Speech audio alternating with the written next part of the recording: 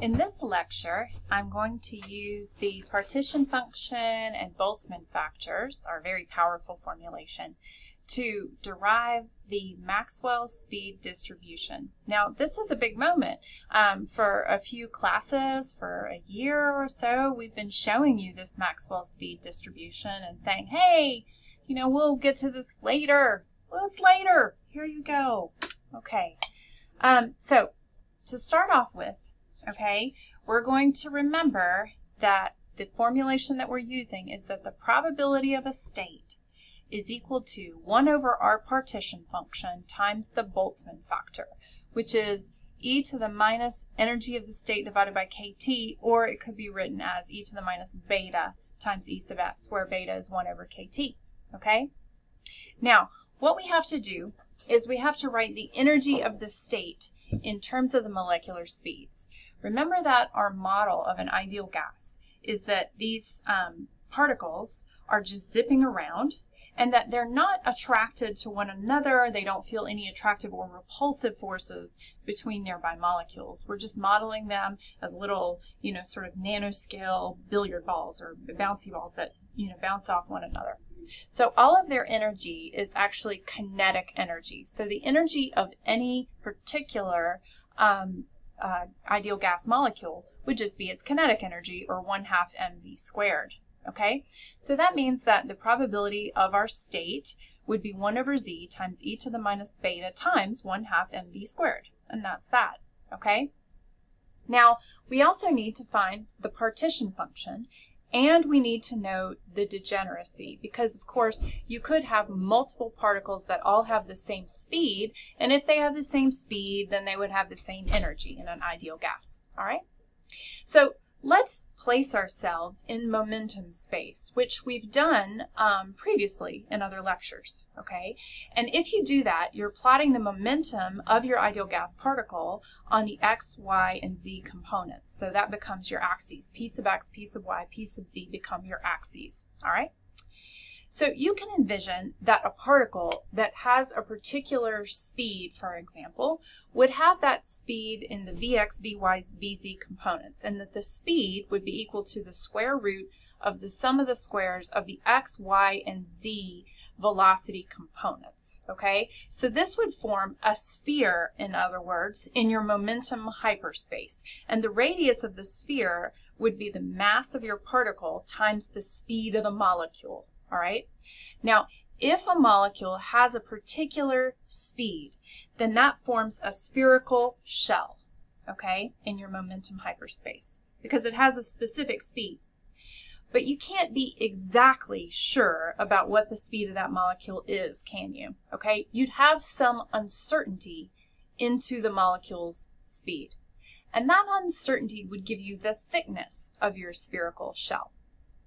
Now, any molecules that had the same speed within that uncertainty, right, would be degenerate according to your definition.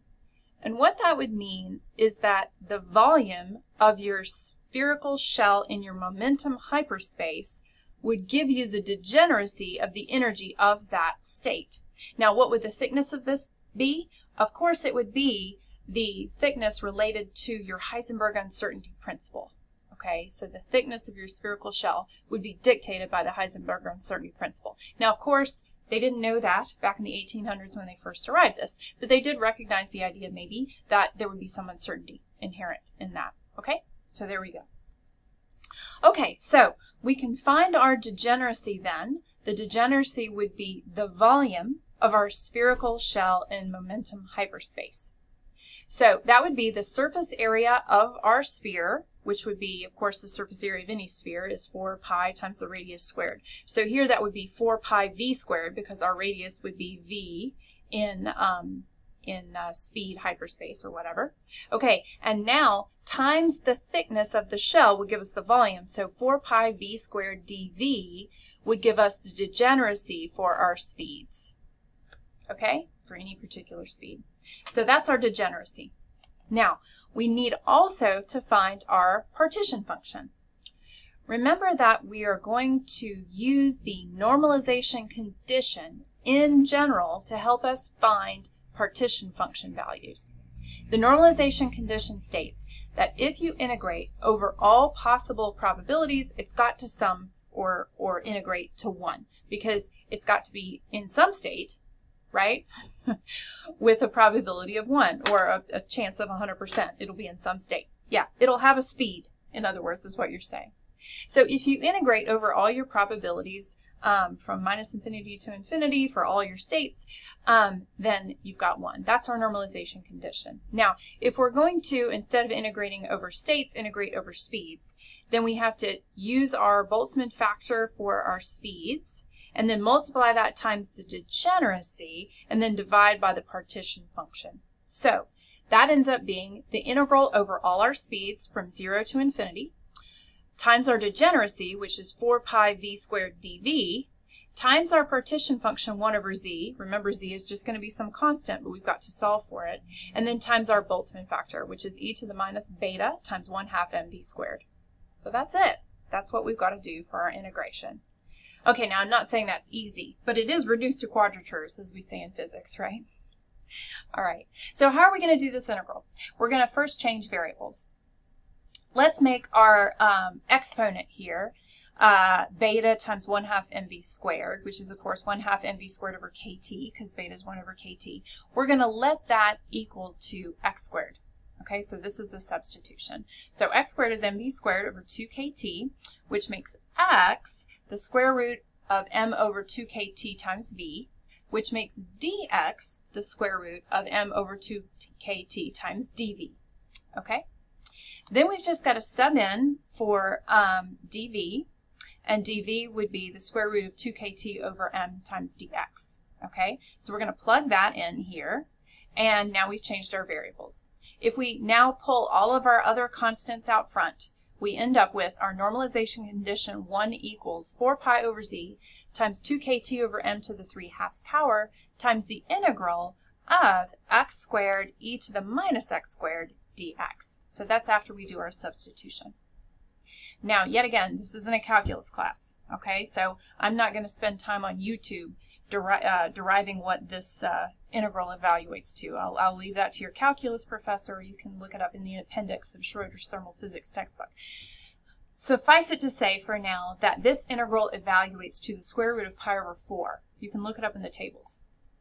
So if you plug root pi over 4 in for your integral, you've got 1 equals 4 pi over z, 2 kt over m to the 3 halves times root pi over 4. So you can now solve for your partition function, which is equal to 2, 2 pi kt over m to the 3 halves. Okay? So we've solved for our partition function. Way to go. And now we can plug that in and see what our full uh, probability is for a particular speed. We have now our function for uh, describing the probability that a, a particle in an ideal gas has a speed v. And this is also known as the Maxwell speed distribution function. Here it is. The probability of a speed v is m over 2 pi kt to the 3 halves times 4 pi v squared times e to the minus mv squared over 2 kt. So that is the function that we have been promising you that we will derive. And you have been using it in other classes and there it is. You just proved it along with me. Yay.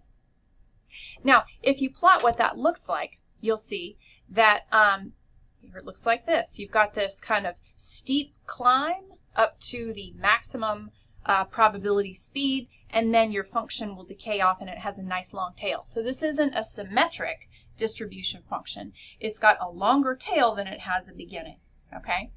Now, the peak will depend upon the temperature and it'll also depend upon the mass of the particle. Remember that uh, lighter particles have higher speeds for the same temperatures, and that higher temperatures means higher speeds, okay?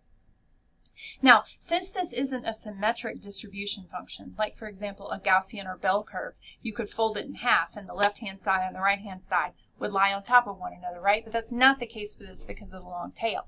So since that's the case, it actually you can actually use several speeds to characterize what the speed of your particles are. You can use the Vmax, which is the most probable speed, which is where the peak of your probability density is, okay? Or you can find the average. The average um, would be just averaged over all your uh, all your possible speeds. What what's the average of that? Straight up average.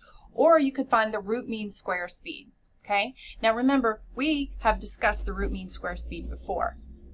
Um, in previous lectures, we talked about the root mean square speed as setting the kinetic energy of 1 half mv squared equaling to equipartition of energy, right, which is 3 halves kt.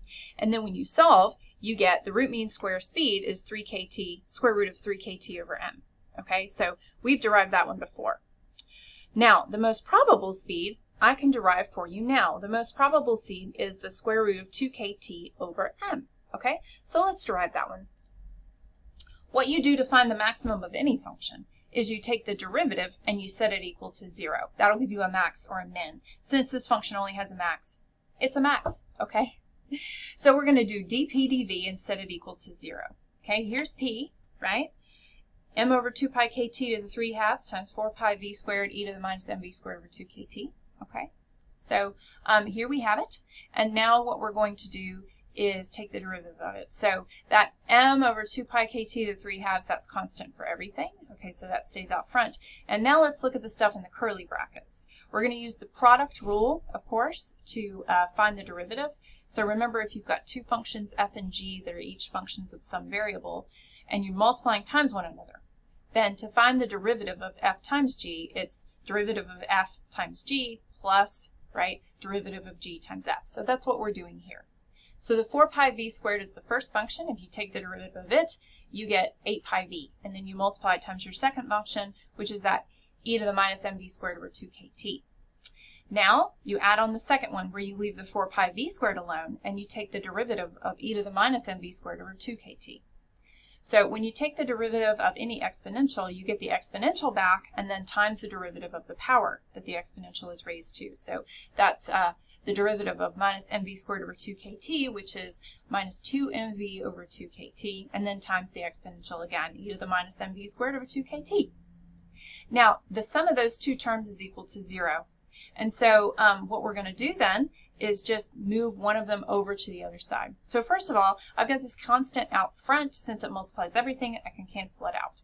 And then that leaves me with 8 pi v e to the minus mv squared over 2kt is equal to 4 pi v squared times mv over kt times e to the minus mv squared over 2kt. The 2 cancels out here in this fraction top and bottom, and um, the minus sign gets rid of it when you go to the other side with the replacing the 0. Now let's finish this up. So I've transferred this from the previous slide, 8 pi v e to the minus mv squared over 2kt equals 4 pi v squared mv over kt e to the minus mv squared over 2kt. Okay, that's a recap. And now we're going to cancel out stuff. I love canceling out. So this exponent, uh, exponential appears on both sides. Whack, whack, it goes away. The pi appears on both sides. Whack, whack, it goes away. The 8 and the 4 cancels out, leaving 2 on the left-hand side. Yay, okay?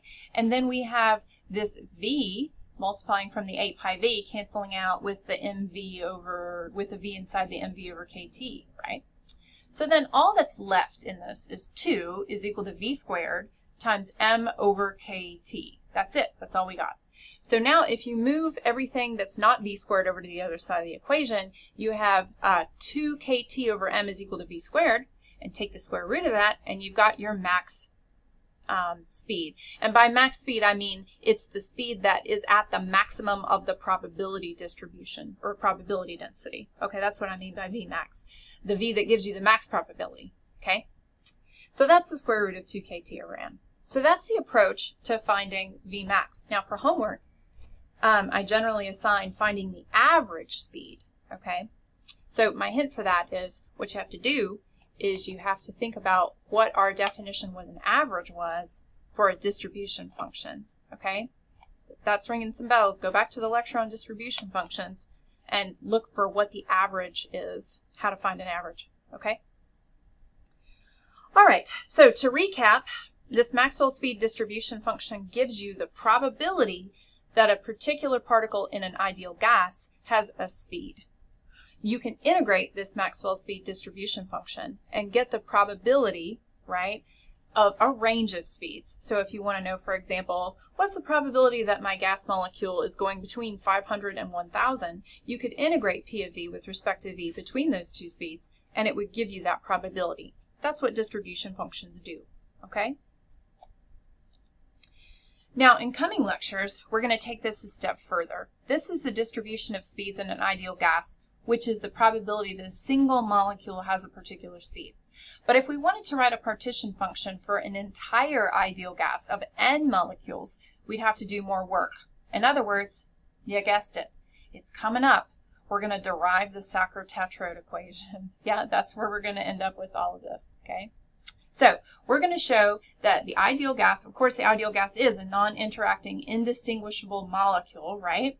And if you have n of them, then what you would do to find the partition function for n molecules would be to take the partition function for one molecule and raise it to the power of n and then divide by n factorial.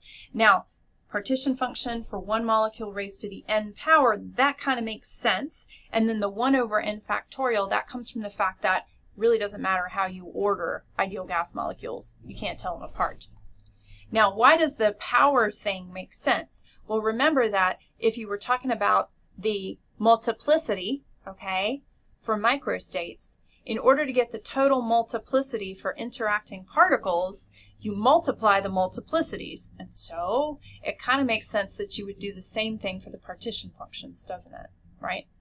So if they're identical, then all the partition functions should be basically the same, and you raise them to the nth power.